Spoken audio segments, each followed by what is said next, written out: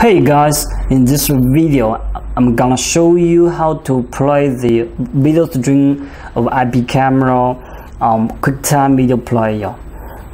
Before we doing this, we need, to, we need to know the IP camera's RTSP URL. And here is the IP camera's RTSP URL. And the URL contains many information, including the IP address of the camera, and the RTSP port number, and the, the authorization information, and then other parameters. So we copy the URL of the RTSP.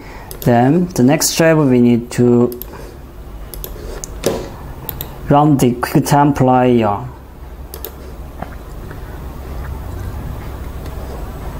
Before we directly play the URL of the RTS, RTSP video stream, we need to tweak the settings of the player and click Edit Preferences, go to QuickTime Preferences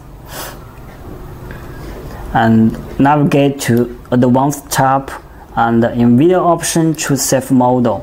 Then click Apply and click Save to save the settings.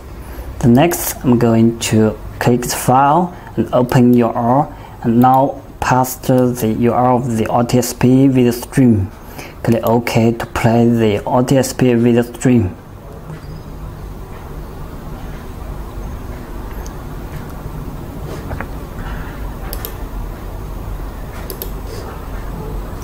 Now my QuickTime Player is able to play the real time of the video stream of the IP camera. Thank you.